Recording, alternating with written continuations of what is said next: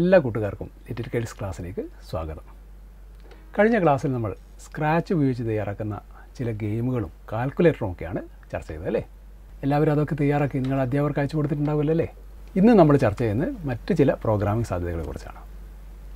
നിങ്ങൾക്ക് വീഡിയോ ഗെയിമുകളും കമ്പ്യൂട്ടർ ഗെയിമുകളും ഒക്കെ കളിക്കുമ്പോൾ അതിനകത്ത് കുറേ ആനിമേഷൻ കഥാപാത്രങ്ങളെയും കുറേ രസകരമായ ആനിമേഷനുകളും അതുപോലെ നല്ല കഥാസന്ദർഭങ്ങളൊക്കെ കാണാറുണ്ട് അല്ലേ?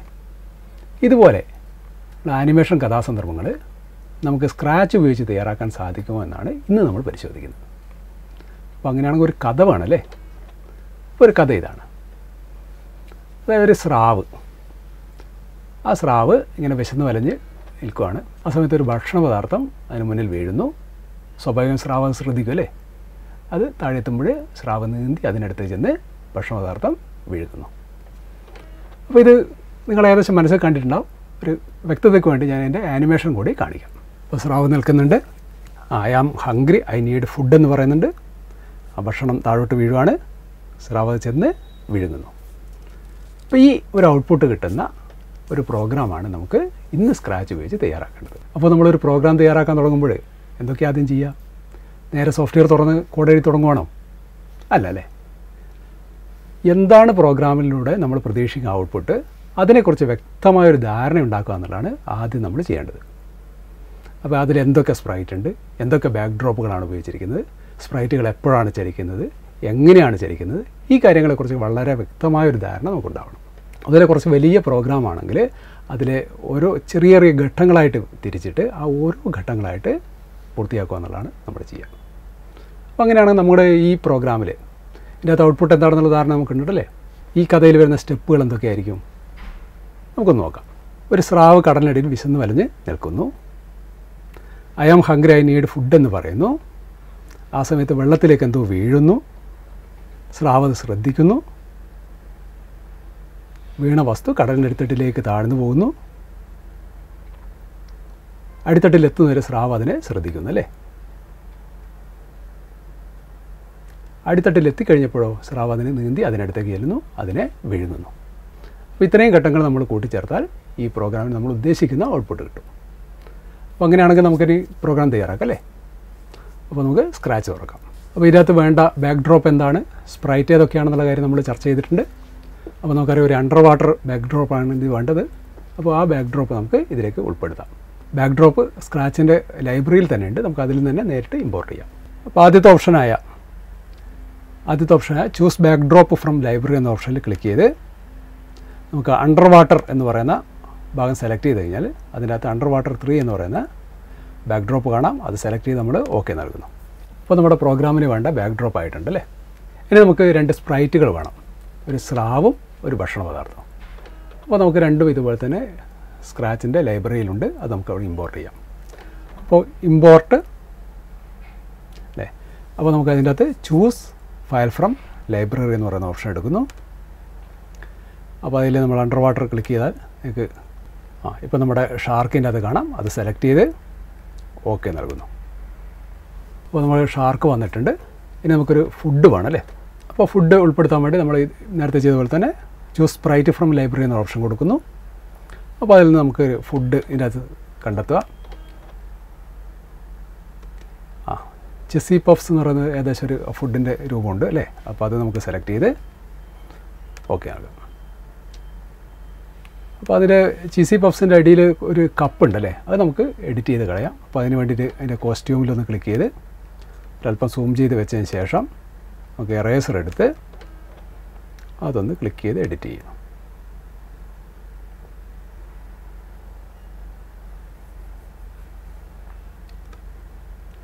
അപ്പോൾ നമ്മുടെ ഫുഡ് റെഡി ആയിട്ടുണ്ടല്ലേ?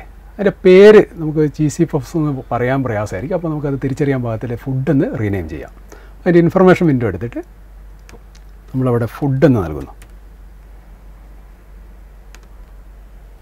അപ്പോൾ നമുക്ക് ആവശ്യമായ ബാക്ക്ഡ്രോപ്പായി അതുപോലെ നമ്മുടെ സ്പ്രൈറ്റുകളായി ഇനി ഇവയ്ക്ക് നമുക്ക് അനിമേറ്റ് ചെയ്യണമെങ്കിൽ ഇവർക്ക് നിർദ്ദേശങ്ങൾ നൽകണം അല്ലേ? അപ്പോൾ സ്ക്രിപ്റ്റിലേക്ക് പോകാം. അപ്പോൾ നമ്മൾ നേരത്തെ ചർച്ച ചെയ്തിട്ടുണ്ട് നമുക്ക് ആദ്യം തയ്യാറാക്കേണ്ടതാണ് എന്താണ്? ആ കടലിനടിയിൽ ഒരു ഭാഗത്ത് വിശന്ന് വലഞ്ഞ് നമ്മുടെ സ്രാവ് നിൽക്കുന്നതാണ്. അപ്പോൾ അതിനുവേണ്ടി നമുക്ക് ഈ സ്രാവിനെ നമ്മൾ ഉദ്ദേശിക്കുന്ന സ്ഥലത്തേക്ക് ഡ്രാഗ് ചെയ്ത് വെക്കാം.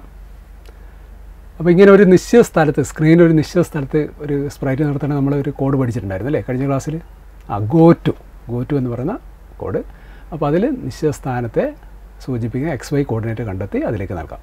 അപ്പോൾ നമുക്ക് ആ സ്ഥാനത്ത് നമ്മുടെ സ്രാവ് വെച്ചതിന് ശേഷം അതിന്റെ ഇൻഫർമേഷൻ വിൻഡോയിൽ നിന്ന് അതിന്റെ എക്സ് വൈ കോർഡിനേറ്റ് കണ്ടെത്താം. അപ്പോൾ എക്സ് ഇവിടെ വന്നിരിക്കുന്ന മൈനസ് നൂറ്റി അൻപത്തി മൂന്നും വൈ എഴുപത്തൊൻപതുമാണ്. അപ്പോൾ ഞാനിത് ഗോറ്റ് സ്ക്രിപ്റ്റിൽ നൽകുകയാണ് അപ്പോൾ ഗോറ്റ് സ്ക്രിപ്റ്റിൽ എക്സ് മൈനസ് നൂറ്റമ്പത്തി മൂന്ന് വൈ എഴുപത്തൊമ്പത് നൽകിയിട്ടുണ്ട്. അപ്പോൾ അവിടെ നിശ്ചിത സ്ഥാനത്ത് നിർത്താനുള്ള സ്ക്രിപ്റ്റായി ഇങ്ങനെ നിൽക്കുന്ന സമയത്ത് ഷാർക്കിന്റെ നോട്ടം ഇങ്ങോട്ടായിരിക്കണം ഇടത് വശത്തേക്കായിരിക്കണം അല്ലേ? അങ്ങനെ മറ്റൊരു ഒരു ഡയറക്ഷനിലേക്ക് നോക്കുന്നതിന് വേണ്ടി നമ്മൾ കഴിഞ്ഞ ദിവസം ചർച്ച ചെയ്ത കോഡ് ഉപയോഗിക്കുക. ഇതാണ് പോയിന്റിംഗ് ഡയറക്ഷൻ നയന്റി ഇങ്ങനെ ഈ ഭാഗത്ത് നമ്മുടെ സ്രാവ് നിൽക്കുമ്പോൾ സ്രാവ് വിശന്ന് വരഞ്ഞാണ് നിൽക്കുന്നത് അല്ലേ? അപ്പോൾ ഒരു സ്രാവിന്റെ രൂപം കണ്ടാലും വിശന്ന് വരഞ്ഞതാണെന്ന് തോന്നണം. അപ്പോൾ അതിന് അനുയോജ്യമായ ഒരു കോസ്റ്റ്യൂം നമ്മൾ ഷാർക്കിന് നൽകണം. അപ്പോൾ നമുക്ക് കോസ്റ്റ്യൂം ഒന്ന് പരിശോധിക്കാം. ഷാർക്കിന്റെ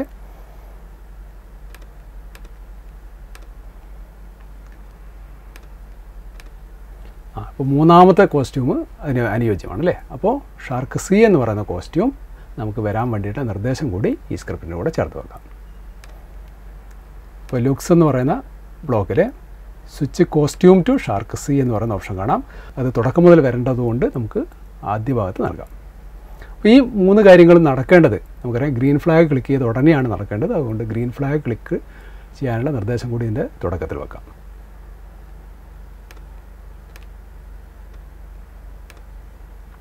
അപ്പോൾ നമ്മൾ ആദ്യം പറഞ്ഞ കാര്യമായി അല്ലേ? ഷാർക്ക് നമ്മുടെ കടലിനൊരു ഭാഗത്ത് ഇങ്ങനെ വിശന്ന് വലഞ്ഞു നിൽക്കുന്ന രൂപമായിട്ടുണ്ട്.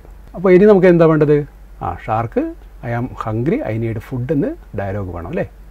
അപ്പോൾ അതിന് വേണ്ടിയുള്ള സ്ക്രിപ്റ്റുകൾ ഡയലോഗ് പറയാനുള്ള സ്ക്രിപ്റ്റുകളൊക്കെ നമ്മൾ കഴിഞ്ഞ ക്ലാസ്സിൽ ചർച്ച ചെയ്തിട്ടുണ്ട്. ഏതായിരുന്നു? അസേ അല്ലേ?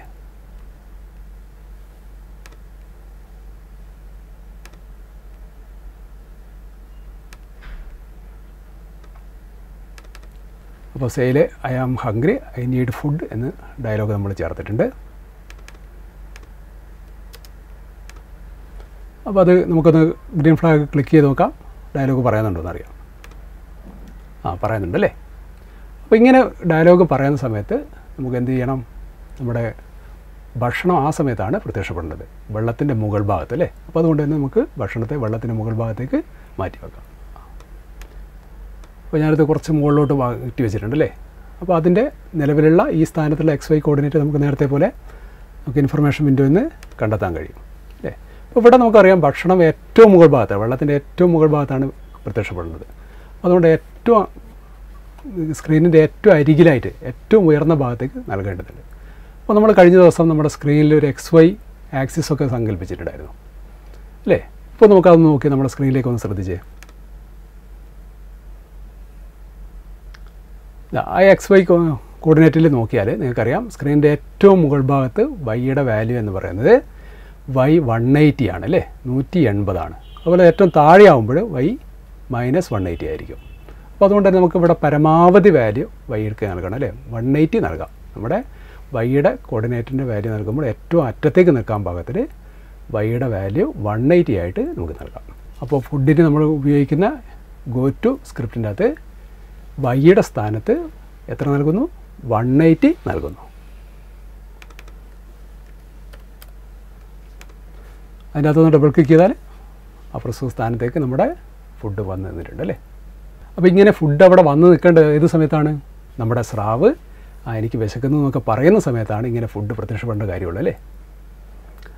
അങ്ങനെയാണെങ്കിൽ ഇങ്ങനെ ഷാർക്ക് ഇങ്ങനെ ഒരു ഡയലോഗ് പറഞ്ഞു എന്നുള്ള കാര്യം നമ്മുടെ ഫുഡ് എങ്ങനെയാണ് മനസ്സിലാവുക?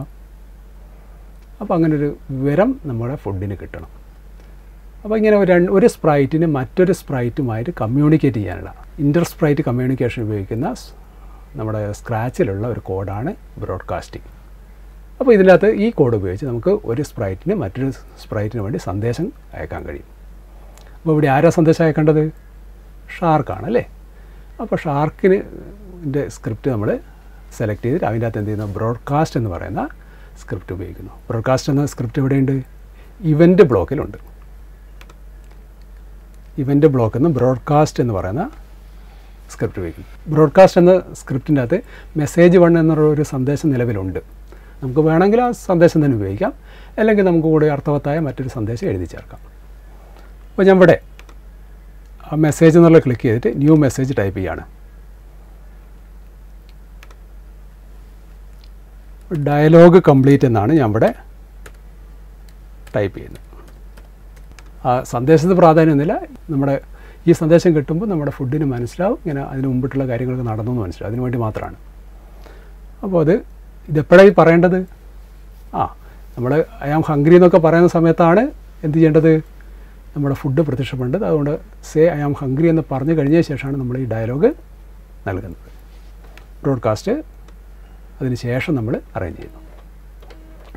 ഇപ്പോൾ ഒരു സന്ദേശം ആർക്ക് കൈമാറും? ഷാർക്ക് നമ്മുടെ ഫുഡിന് കൈമാറും. അപ്പോൾ ഫുഡിന് ആ സന്ദേശം റിസീവ് ചെയ്യണം അല്ലേ? എന്നാലേ അത് മനസ്സിലാവും. അപ്പോൾ റിസീവ് ചെയ്യാനുള്ള ഒരു ഓപ്ഷൻ കൂടി അതിന്റെ അത് സ്ക്രിപ്റ്റായിട്ട് ഉൾപ്പെടുത്തണം. അതാണ് when I receive when I receive dialogue completed എന്ന് പറയുന്ന മെസ്സേജ് ഈ മെസ്സേജ് കിട്ടിയാൽ മാത്രമേ നമ്മുടെ ഫുഡ് അവിടെ പ്രത്യക്ഷപ്പെടേണ്ടതുള്ളൂ. അപ്പോൾ നമ്മളുടെ നമുക്ക് എന്ത് ചെയ്യാം? നമ്മൾ നേരത്തെ വെച്ച ഗോ ടു എന്ന് പറയുന്ന നിർദ്ദേശത്തിന്റെ മുകൾ ഭാഗത്തായിട്ട് എന്ത് ഉൾപ്പെടുത്താം? When I receive dialogue complete എന്നുള്ള മെസ്സേജ് കൂടി വെക്കാം. ഓക്കെ അപ്പോൾ ഇപ്പം ഷാർക്ക് ഡയലോഗ് പറഞ്ഞു ഫുഡ് പ്രത്യക്ഷപ്പെട്ടു അല്ലേ? അപ്പോൾ ഫുഡ് പ്രത്യക്ഷപ്പെട്ട സ്വാഭാവികമായിട്ട് എന്തുണ്ടാവും? ഇതിന്റെ ഒരു പ്രതികരണം നമ്മുടെ ഷാർക്കിൽ ഉണ്ടാവണം അല്ലേ?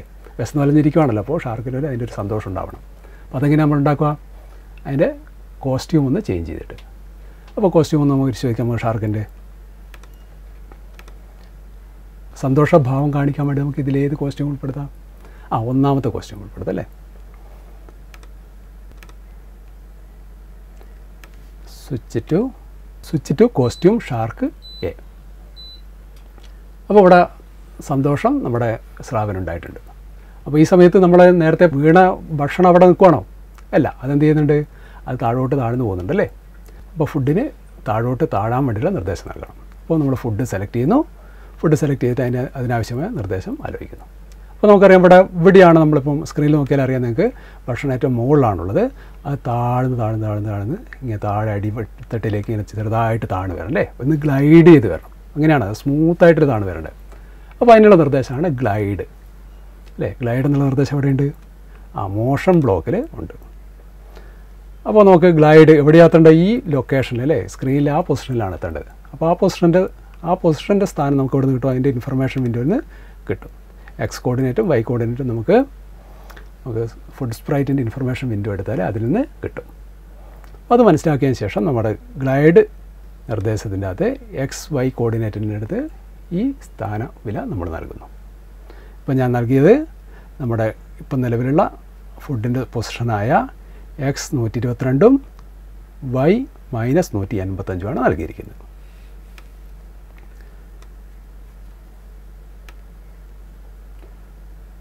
അപ്പോൾ ഇങ്ങനെ നിർദ്ദേശം നൽകിയാൽ ഇത് താഴോട്ട് വരുമോ എന്നറിയണ്ടേ നമുക്ക് എന്ത് ചെയ്താൽ മതി? അതിൽ ഡബിൾ ക്ലിക്ക് ചെയ്ത് നോക്കിയാൽ മതി. ആ വരുന്നുണ്ടല്ലേ? പക്ഷേ ഒരല്പം വേഗത കൂടുതലാണ്. അപ്പോൾ ഗ്ലൈഡ് വൺ സെക്കൻഡാണ് അത് നമുക്ക് കുറച്ച് വേഗത കുറയ്ക്കാൻ വേണ്ടി ഒരു നാല് സെക്കൻഡൊക്കെ ആക്കിയാൽ മതി.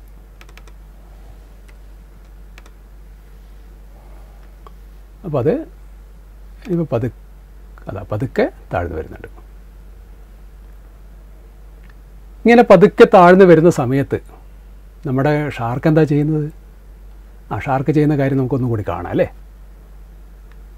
ആ ഷാർക്ക് ആ താഴോട്ട് പോകുമ്പോൾ അതിനനുസരിച്ചുള്ള ഒരു നോട്ടം അല്ലേ? അതിന്റെ ഡയറക്ഷൻ ചരിഞ്ഞുകൊണ്ടാണ് അത് പ്രതികരിക്കുന്നത്.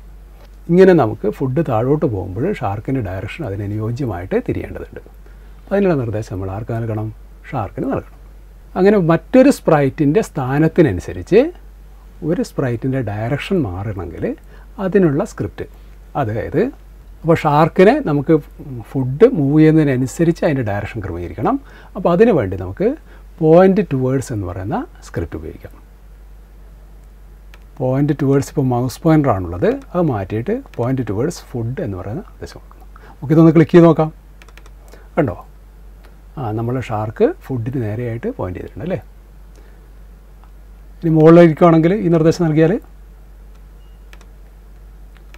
അപ്പോഴും അത് ഡയറക്ഷൻ മാറുന്നുണ്ട് പക്ഷേ നമുക്കിവിടെ ഒരു പ്രാവശ്യം ഡയറക്ഷൻ മാറിയാൽ പോരല്ലോ അല്ലേ? നമ്മുടെ ഫുഡ് മുകളിൽ നിന്ന് താഴോട്ട് പോകുമ്പോൾ എങ്ങോട്ട് പോവുകയാണെങ്കിൽ അതിനനുസരിച്ച് എന്ത് ചെയ്യണം? നമ്മുടെ ഷാർക്കിന്റെ ഡയറക്ഷൻ മാറണം. അപ്പോൾ അതുവരെ നമുക്ക് ഈ നിർദ്ദേശയിലെ ഈ ഡയറക്ഷൻ ചേഞ്ച് ചെയ്യുക ആവർത്തിച്ചുകൊണ്ടിരിക്കണം അല്ലേ? എവിടം വരെ ആവർത്തിക്കണം? യഥാർത്ഥത്തിൽ ഷാർക്ക് കുറച്ച് കഴിഞ്ഞിട്ട് വന്നിട്ട് നമ്മുടെ ഫുഡ് വിഴുങ്ങാൻ പോവുകയാണ് അല്ലേ? അപ്പോൾ വിഴുങ്ങുന്ന വരെ വേണം എന്ത് ചെയ്യണം? അതിന്റെ ഡയറക്ഷൻ ഇതേ രൂപത്തിൽ നമ്മുടെ ഭക്ഷണത്തിന് നേരെ ആയിരിക്കണം. അപ്പോൾ അങ്ങനെ ആ പ്രോസസ്സ് വരെ നമുക്ക് എന്ത് ചെയ്യാം? ഇതിന്റെ നിർദ്ദേശം നൽകാം.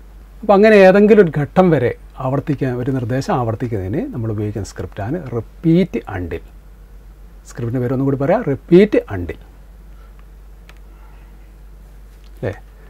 റിപ്പീറ്റ് അണ്ടിൽ റിപ്പീറ്റ് അണ്ടിൽ എന്ന് പറഞ്ഞാൽ ഏതുവരെ ആ നമുക്കറിയാം ഷാർക്ക് ഫുഡിനെ ടച്ച് ചെയ്യുന്ന വരെ എന്ത് ചെയ്യണം? ഷാർക്കിന്റെ ഡയറക്ഷൻ എങ്ങനെ ആയിരിക്കണം. അപ്പോൾ ടച്ചിങ് എന്ന് പറയുന്ന ഒരു കാര്യം കൂടി അവിടെ പരാമർശിക്കണം. അപ്പോൾ സെൻസിങ്ങിന്റെ അകത്ത് ടച്ചിങ് ഫുഡ് എന്ന നിർദ്ദേശം കൂടി റിപ്പീറ്റിന്റെ കൂടെ ഉപയോഗിക്കുന്നു. അപ്പോൾ അതിന്റെ അകത്തേക്ക് നമ്മൾ പോയിന്റ് ടുവേർഡ്സ് ഫുഡ് എന്ന് പറയുന്ന കാര്യം കൂടി എടുത്തു വെക്കുന്നു. അപ്പോൾ നമുക്ക് നിർദ്ദേശം ഒന്ന് വായിച്ചു നോക്കാം.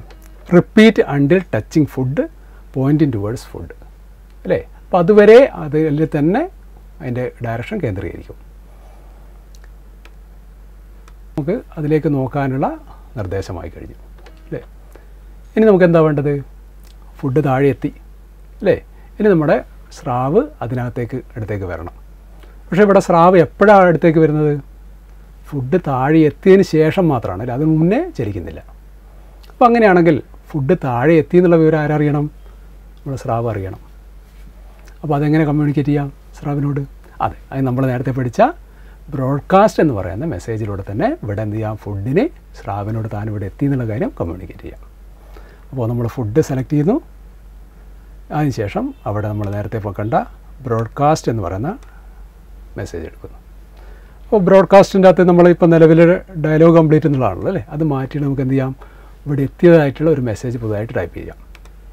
ന്യൂ മെസ്സേജിൽ റീച്ച്ഡ് എന്ന് കൊടുക്കുകയാണ് റീച്ച്ഡ് അല്ലേ? അപ്പോൾ നമ്മുടെ ഫുഡ് താഴെ എത്തുമ്പോൾ ഒരു മെസ്സേജ് ബ്രോഡ്കാസ്റ്റ് ചെയ്യാണ്. അതെന്താണ്? റീച്ച്ഡ്. അപ്പോൾ അതിനുവേണ്ടി ആ സ്ക്രിപ്റ്റ് നമ്മൾ ഉപയോഗിക്കുന്നു. അപ്പോൾ ഈ മെസ്സേജ് ആര് സ്വീകരിക്കും? ഷാർക്ക് സ്വീകരിക്കും. ഷാർക്ക് ഈ മെസ്സേജ് സ്വീകരിക്കണം ഏത് സ്ക്രിപ്റ്റും കൂടി വേണ്ടി വരും?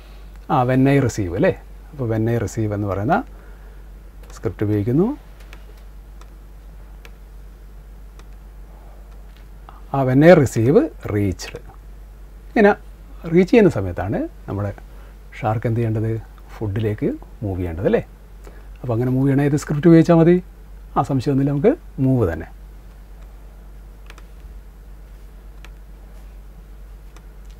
മൂവ് ടെൻ സ്റ്റെപ്സ് ആണ് അല്ലേ? അപ്പോൾ മൂവ് ടെൻ സ്റ്റെപ്സ് ഒരു പ്രാവശ്യമല്ലേ മൂവ് ചെയ്യും? നമുക്കങ്ങനെ പറയില്ല തുടർച്ചയായിട്ട് എവിടം വരെ മൂവ് ചെയ്യണം? ഫുഡിന്റെ അടുത്ത് എത്തുന്ന ഭാഗം വരെ മൂവ് ചെയ്യണം അല്ലേ? അപ്പോൾ ഇവിടെയും നമുക്ക് ആ നമ്മുടെ ഷാർക്ക് ചലനം ആവർത്തിക്കേണ്ടതുണ്ട് അല്ലേ? അപ്പോൾ മൂവ് എന്ന് പറയുന്നത് നമുക്ക് തൊടുന്നവരെ ഷാർക്ക് ഫുഡിനെ തൊടുന്നവരെ ആവർത്തിക്കാൻ വേണ്ടിയിട്ടുള്ള നിർദ്ദേശം കൂടി നൽകണം. അങ്ങനെ ഒരു നിശ്ചിത കാര്യം ആവർത്തിക്കുന്നവരെ ഉള്ള നിർദ്ദേശം ഏതായിരുന്നു? ആ നമ്മൾ നേരത്തെ ചർച്ച ചെയ്തിട്ടുണ്ട് അല്ലേ? Until touch repeat until touch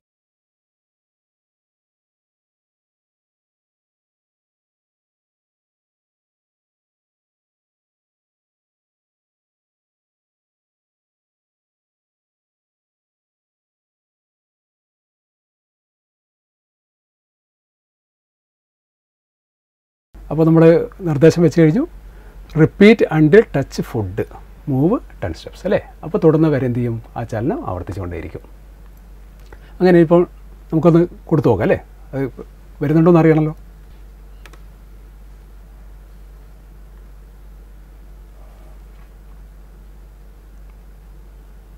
അതെ നമ്മുടെ ഷാർക്ക് അതിനെ തേടി വന്നിട്ടുണ്ട് ഫുഡിനെ തേടി വന്നിട്ടുണ്ട് അല്ലേ? അവിടെ ടച്ച് ചെയ്ത് അവിടെ നിന്നിട്ടുണ്ട്. അപ്പോൾ എന്ത് വേണം? ഷാർക്ക് വാ പിളരണം അല്ലേ? വാ പിളർന്ന് വിഴുങ്ങണം. അപ്പോൾ വാ പിളരുന്ന ഒരു കോസ്റ്റ്യൂം കൂടി നമുക്ക് എടുത്തു വെക്കണം. നമുക്ക് ഷാർക്കിന്റെ ഏത് കോസ്റ്റ്യൂം ഉപയോഗിക്കാം? ആ രണ്ടാമത്തെ കോസ്റ്റ്യൂം അല്ലേ? ഷാർക്ക് ബി എന്ന് പറയുന്ന കോസ്റ്റ്യൂം ഉപയോഗിക്കാം. അപ്പോൾ ഷാർക്ക് ബിയിലേക്ക് കോസ്റ്റ്യൂം ചേഞ്ച് ചെയ്യാനുള്ള നിർദ്ദേശം നമുക്ക് നൽകാം. ലോക്സിൽ നിന്നും switch costume to shark B.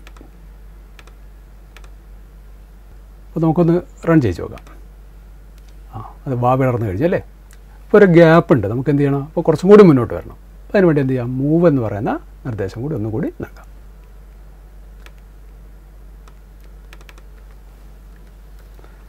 കുറച്ചധികം ദൂരം കവർ ചെയ്യാനുള്ളതുകൊണ്ട് മൂവ് ഫോർട്ടിയാണ് ഞാൻ നൽകിയിരിക്കുന്നത്.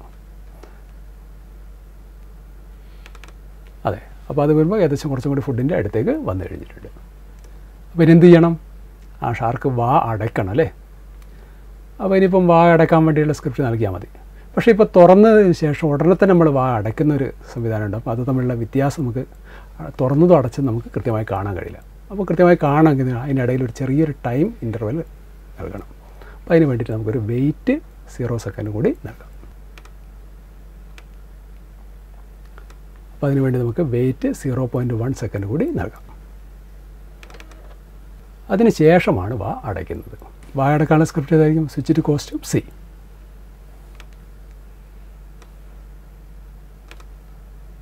അടച്ചു അല്ലേ? പക്ഷേ ഇപ്പോൾ ഒരു ചെറിയൊരു കുഴപ്പമുണ്ടല്ലേ വിഴുങ്ങി കഴിഞ്ഞിട്ട് നമ്മുടെ ഫുഡ് അവിടെ തെളിഞ്ഞ് നിൽക്കുകയാണല്ലേ വിഴുങ്ങി കഴിഞ്ഞ് എന്ത് ചെയ്യണം? ഫുഡ് പിന്നെ കാണാൻ പാടുണ്ടോ? ഇല്ല അതെന്ത് ഹൈഡ് ആവണം അല്ലേ? അപ്പോൾ ഫുഡ് ഹൈഡ് ആവാനുള്ള നിർദ്ദേശം കൊടുക്കണം. പക്ഷേ ഫുഡ് എപ്പോഴാണ് ഹൈഡ് ആവേണ്ടത്? ഷാർക്ക് വിഴുങ്ങിക്കഴിഞ്ഞതിന് ശേഷം മാത്രമാണ് ഫുഡ് ഹൈഡ് ആവേണ്ടത്. അപ്പോൾ ഇവിടെ ഷാർക്ക് ഫുഡ് വിഴുങ്ങി എന്നുള്ള മെസ്സേജ് ആർക്ക് കൊടുക്കേണ്ടി വരും? നമ്മുടെ ഫുഡിന് കൊടുക്കേണ്ടി വരും. അപ്പോൾ ഇവിടെ നമുക്ക് ഏത് സ്ക്രിപ്റ്റ് ആവശ്യം വരും? ബ്രോഡ്കാസ്റ്റ് എന്ന സ്ക്രിപ്റ്റ് ഉപയോഗിക്കാം.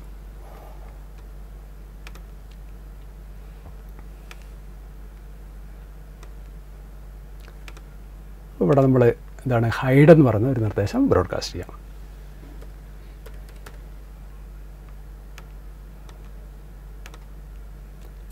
അപ്പോൾ ഹൈഡ് എന്നുള്ള നിർദ്ദേശം ബ്രോഡ്കാസ്റ്റ് ചെയ്യുന്നു. അപ്പോൾ ഇതാരും സ്വീകരിക്കും? നമ്മുടെ ഫുഡ് സ്വീകരിക്കും.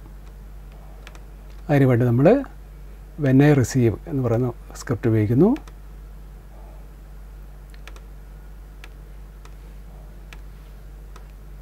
അപ്പോൾ ഈ നിർദ്ദേശം കിട്ടിയ അവിടെ തന്നെ നമ്മൾ ഫുഡ് എന്ത് ചെയ്യണം? ഹൈഡ് ആവണം. ഹൈഡ് ആവാൻ വേണ്ടിയുള്ള നിർദ്ദേശം നമുക്ക് ലുക്സിലുണ്ട് ഹൈഡ് നിർദ്ദേശം കൊടുക്കുന്നു. നമുക്ക് നൽകി നോക്കാം. അതാ ഫുഡ് ഹൈഡ് ആയിട്ടുണ്ട് അല്ലേ? അപ്പോൾ ഇപ്പം നമ്മുടെ പ്രോഗ്രാമിന്റെ ഏകദേശം കാര്യങ്ങളൊക്കെ പൂർത്തിയായിട്ടുണ്ട്. പക്ഷേ ഇപ്പം ഫുഡ് ഹൈഡായിരിക്കുകയാണ് അല്ലേ? അപ്പോൾ ഇനി വീണ്ടും നമ്മൾ കളിക്കുമ്പോൾ എന്ത് സംഭവിക്കും? ഫുഡ് അപ്പോഴും ഹൈഡ് തന്നെ ആയിരിക്കും അല്ലേ? ഒരാൾ കളിച്ച് കഴിഞ്ഞ് അടുത്ത പ്രാവശ്യം ഒരാൾ ആരംഭിക്കുമ്പോൾ ആ ഫുഡ് ഹൈഡായിട്ട് തന്നെയാണ് ഉണ്ടാവുക. അപ്പോൾ അതുകൊണ്ട് തന്നെ അടുത്ത കളിയാകുമ്പോഴത്തേക്ക് നമുക്ക് എന്ത് ചെയ്യണം? ഫുഡ് വീണ്ടും ഷോ ചെയ്യാനുള്ള ഒരു നിർദ്ദേശം കൂടി ഇതിന്റെ കൂടെ നൽകേണ്ടതുണ്ട്. അപ്പോൾ അതിന് വേണ്ടി നമുക്ക് ഷോ ഉപയോഗിക്കാം. ഇപ്പോൾ ഫുഡ് എപ്പോഴാണ് ഷോ ചെയ്യേണ്ടത്? ആ നമ്മൾ നേരത്തെ പറഞ്ഞിട്ടുണ്ടല്ലേ ഡയലോഗ് കഴിഞ്ഞതിന് ശേഷം ആ ഫുഡ് പ്രത്യക്ഷപ്പെടും അപ്പോൾ അതിന് ശേഷം നമുക്ക് എന്ത് ചെയ്യാം? ഈ ഷോ എന്നുള്ള സ്ക്രിപ്റ്റ് കൂടി അവിടെ ഉൾപ്പെടുത്താം. അപ്പോൾ നമ്മുടെ പ്രോഗ്രാം ഏറെക്കുറെ പൂർത്തിയായിട്ടുണ്ട്. നിങ്ങൾക്ക് ഒന്ന് റൺ ചെയ്ത് നോക്കാം.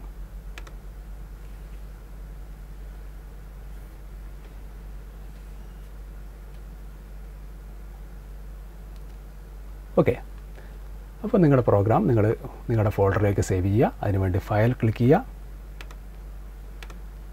സേവ് ഓപ്ഷൻ എടുത്തിട്ട് നിങ്ങളുടെ ഡെസ്ക്ടോപ്പിൽ നിങ്ങളുടെ ഫോൾഡറിലേക്ക് ഓപ്പൺ ചെയ്തതിന് ശേഷം അതിൽ പേര് നൽകി ടൈപ്പ് ചെയ്യാം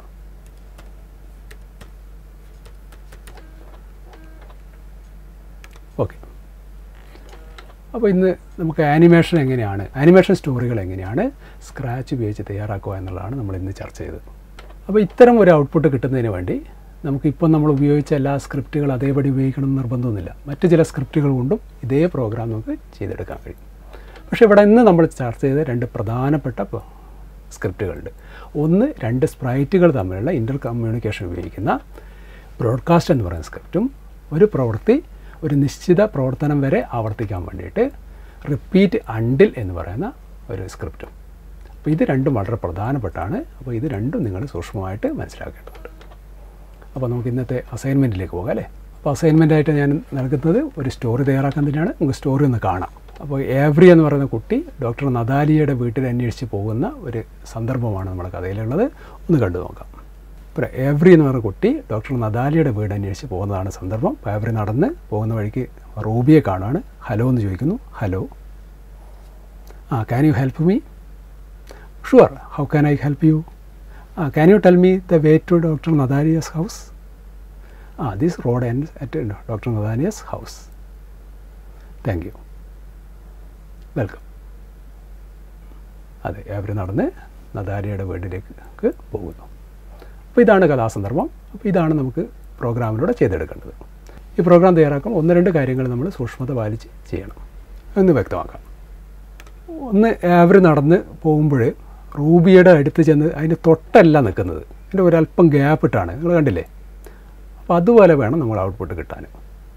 രണ്ടാമത്തെ കാര്യം ഇവർ തമ്മിൽ ഡയലോഗിന്റെ ആണ് ആ ഡയലോഗ് നോക്കൂ. ആ ഒരാളുടെ ഡയലോഗ് കഴിഞ്ഞതിന് ശേഷം മാത്രമാണ് മറ്റൊരാളുടെ ഡയലോഗ് സ്റ്റാർട്ട് ചെയ്യുന്നത്. അല്ലേ? അപ്പോൾ ഇങ്ങനെ കഴിഞ്ഞു എന്നുള്ള കാര്യം ഉറപ്പുവരുത്തുന്ന ഏത് സ്ക്രിപ്റ്റ് ഉപയോഗിച്ചായിരിക്കും? ആ ബ്രോഡ്കാസ്റ്റ് സ്ക്രിപ്റ്റ് ഉപയോഗിച്ചായിരിക്കും. അപ്പോൾ ഈ ബ്രോഡ്കാസ്റ്റ് സ്ക്രിപ്റ്റ് ഇവിടെ കൃത്യമായിട്ട് ഉപയോഗിക്കപ്പെടണം. മൂന്നാമത്തെ കാര്യം അവർ നടന്നു പോകുമ്പോൾ അവരുടെ വലുപ്പം അല്ലേ ദൂരത്തേക്ക് പോകുന്നവരും വലുപ്പം കുറയുന്നുണ്ട്. അപ്പോൾ നമുക്ക് അത് ആ രൂപത്തിൽ തന്നെ കുറയുന്ന വിധത്തിലാണ് നമ്മൾ പ്രോഗ്രാം തയ്യാറാക്കേണ്ടത്.